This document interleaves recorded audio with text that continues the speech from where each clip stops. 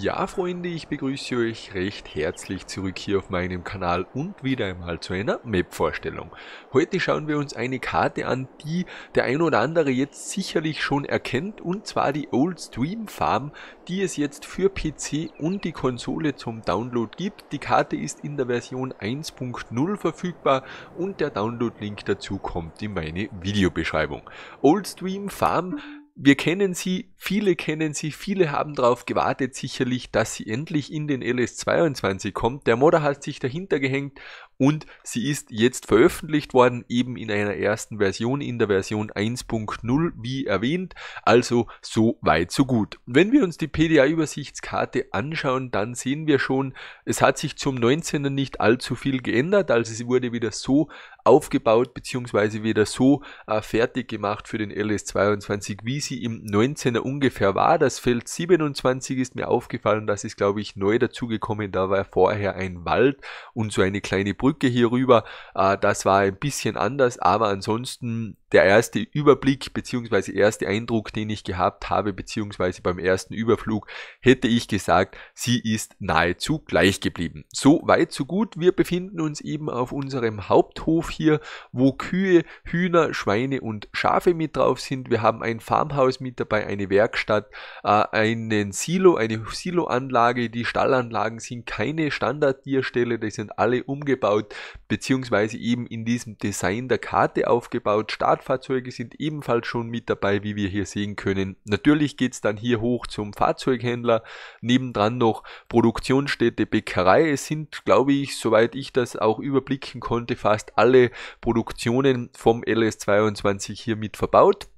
Wir haben auch ein Zugnetz, das wir verwenden können. Man sieht es auch, da können wir auch einsteigen, den können wir auch verwenden, um hier bei der Abladestelle Ortenburg, die ist auch hier oben, glaube ich, noch einmal, jawohl, da können wir eben mit dem Zug verkaufen. Dann haben wir nebendran eine Tankstelle, hier können wir einen Zug mieten, Getreidemühle als Abladestelle, beziehungsweise eben nicht Abladestelle, Produktionsstätte, Viehhandel als Abladestelle und der Viehhandel natürlich für den Viehmarkt.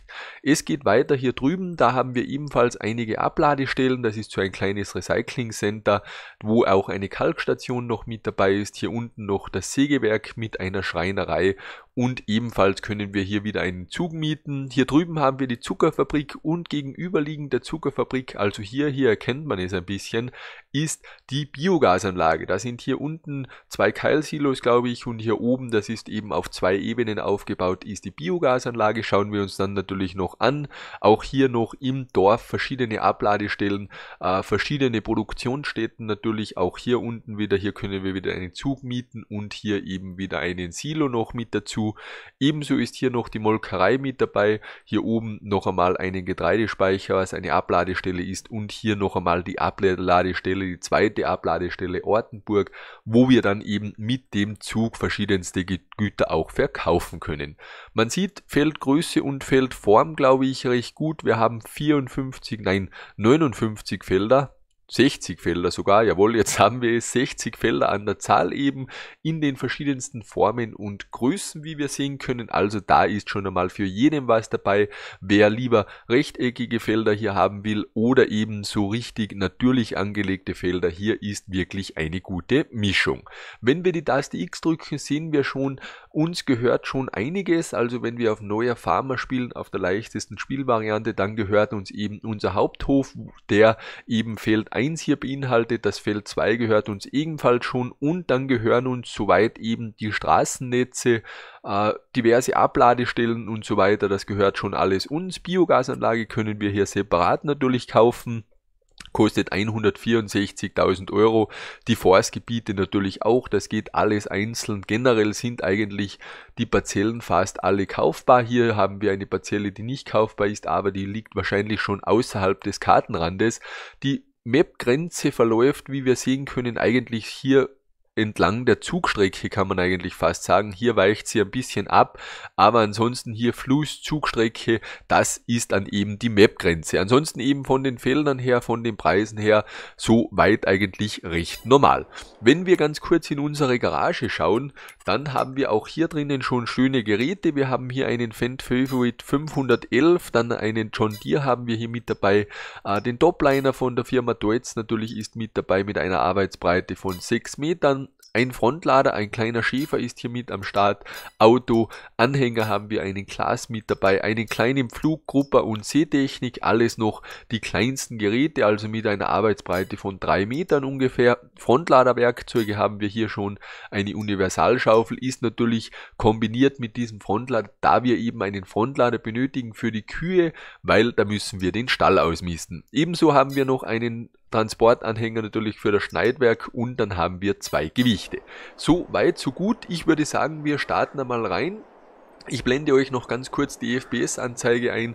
Unten das kleine, äh, die kleine PDA-Übersichtskarte ist ja schon eingeblendet und wir fangen hier an. Ich glaube, dieses Gebäude ist auf dieser Karte wirklich das Gebäude, das sie einzigartig macht, beziehungsweise das sie wiedererkennbar macht. Also dieses Gebäude mit diesem Einfahrtstor hier, das kennt man von der Old Sweet Farm und da wurde natürlich auch dieses Mal wieder hier mit angeschlossen. Wir können hier natürlich auch in das Haus sogar mit reingehen. Also wir können hier dann ganz normal den Kleiderschrank beispielsweise öffnen. Also das funktioniert alles einwandfrei, wenn wir hier ein bisschen uns bewegen können. Hier können wir dann schlafen gehen, also so weit so in Ordnung. Auch hier können wir überall die Tore öffnen. Wir können hier rausgehen, auch hier direkt in die Werkstatt reinfahren und hier haben wir dann den Werkstatt-Trigger.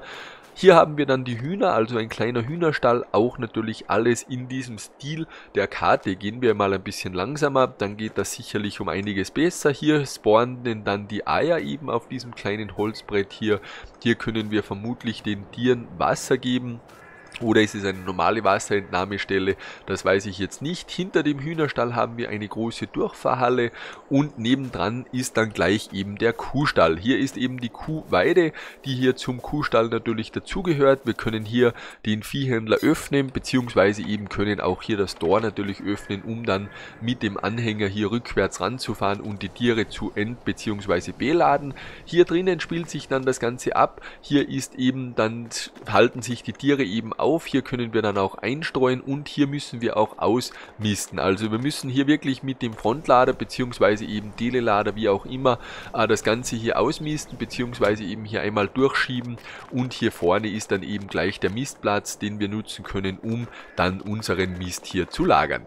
Wenn wir noch einmal ganz kurz hier vorne rumgehen, hier können wir natürlich auch noch das Ganze öffnen zur Milchkammer bzw. eben wo der Milchtank mit drinnen ist und hier haben wir dann die Möglichkeit, die Tiere zu füttern, kannte man ja schon, ist soweit alles gleich geblieben. Wir haben dann hier eben äh, die Möglichkeit, die Gülle hier abzuholen, also das ist auch recht schön umgesetzt. Und gleich nebendran haben wir dann eben den Schweinestall, auch in diesem typischen Stil hier, also mit diesen gemauerten Steinen, mit diesen Natursteinen, also sieht alles sehr, sehr gut aus. Wir können hier eben auch wieder äh, das Tiermenü öffnen Jawohl, also es funktioniert auch und natürlich, wenn wir weiter rangehen, können wir auch hier die Türen bzw. Tore hier öffnen, also da können wir durchfahren. Das funktioniert alles einwandfrei. Die Tiere haben hier dann noch einen kleinen Auslauf und können natürlich auch drinnen hier verweilen.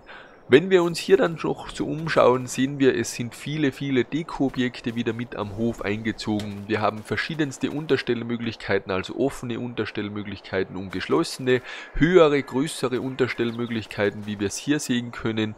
Äh, da können wir auch mit der Taste R die Hallenbeleuchtung an- bzw. abschalten. Hier steht beispielsweise eben unser Mähdrescher mit drinnen. Wir haben dann hier noch einen Keilsilo und hier oben noch Unterstellmöglichkeit ebenso äh, mit dabei wie hier gesehen. Wir haben dann hier noch zwei Keilsilos ebenfalls hier hinten und hier eben den anderen Keilsilo, den wir uns schon angeschaut haben. Wir gehen einmal ein Stück hier weiter, da haben wir ebenfalls noch mal eine offene Unterstellmöglichkeit und dann hier, wo unser John Deere schon steht, haben wir eben unser Hofsilo. Da können wir abkippen und wieder entnehmen, natürlich ganz normal. Äh, hier sind dann die Silos mit untergebracht, hier drinnen in dieser kleinen Unterstellmöglichkeit, beziehungsweise eben in dieser kleinen Scheune. Ansonsten eben immer wieder Deko, wir Objekte wie diese alte Reifen, ein alter Strohballen hier oder Heuballen. Also das sieht alles sehr, sehr gut aus. Wir kommen dann zu den nächsten Tieren, das sind dann die Schafe. Da wird vermutlich hier drinnen, jawohl, haben wir sogar das Symbol hier, beziehungsweise die Triggermarkierung. Da spawnt dann die Schafwolle, also im Innenraum. Sehr, sehr realistisch das Ganze. Wir können auch hier direkt dann auf die Weide fahren. Die Tiere haben hier eine direkte Zugangsstelle zum Wasser, was auch sehr, sehr schön umgesetzt worden ist. Und hier können sie dann wirklich bis an die Straße hier ranlaufen. Also von dem her ist hier schon einmal Auslauffläche genügend. Wir haben dann hier die Möglichkeit, Möglichkeit, die, den Viehhändler zu öffnen und hier vorne eben die Tiere zu füttern. So weit, glaube ich, so gut. Wenn wir uns den Hof noch einmal von oben anschauen, also man erkennt ihn eben sofort wieder, wenn wir hier rüberfliegen. Äh, es handelt sich eben um die Old Stream Farm beziehungsweise um den Hof von der Old Stream Farm. Hier haben wir dann eben unseren Pickup, der hier steht, einige Deko-Objekte noch und hier können wir auch noch in unseren Hof hier reinfahren, beziehungsweise wir können ihn auch hier über diese Einfahrt natürlich wieder verlassen. Wir schauen uns einmal ein bisschen um. Wir folgen einmal der Straße hier Richtung Viehhändler. Da biegen wir hier einmal ab und gehen hier rauf Richtung Viehhändler an den Feldern hier vorbei, die natürlich hier leicht hügelig angelegt worden sind in den verschiedensten Formen. Auch die Häuser sehen sehr, sehr gut aus, sind sehr, sehr schön platziert. Auch hier haben wir noch kleinere Unterstellmöglichkeiten, die wir vielleicht nutzen können. Also von dem her auch recht schön gemacht. Wir haben dann hier den Fahrzeughändler, der hier mit angesiedelt worden ist, hier sogar mit Lagersystem, Ersatzteillager. Also das wurde soweit wirklich, wirklich sehr, sehr schön umgesetzt. Also das gefällt mir richtig gut. Haben dann hier den Werkstatt-Trigger und hier drinnen im Gebäude an sich, da können wir natürlich reingehen, haben wir dann den Händler, beziehungsweise eben das Händlersymbol, wo wir dann den Händler aufrufen können.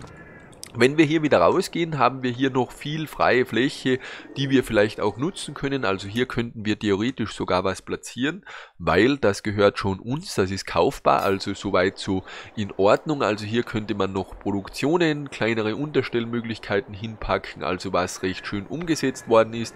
Auch hier wurde das ganze Straßennetz ein bisschen abgeändert, da können wir hier hinten jetzt rumfahren. Und hier ist dann noch ein kleiner Spielplatz, auch hier wieder ein bisschen Freifläche.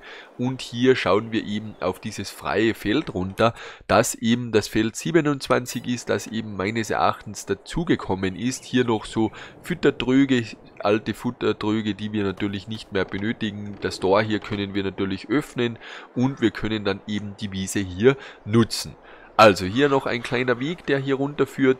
Äh, hier verschiedenste kleinere Deko-Objekte, immer wieder so alte Holzstapel noch da und generell eben dann hier Forstgebiete, Schöne Forstgebiete, also wirklich sehr, sehr schön umgesetzt. Die ganzen Texturen hier am Boden, die Bodentexturen soweit, also wirklich riesengroßer Pluspunkt hier natürlich noch einmal an den Modder, der das hier umgesetzt hat. Hier so kleinere Waldwege, was eigentlich gar keine richtigen Waldwege sind. Es sind nur so offene Stellen immer wieder einmal im Boden.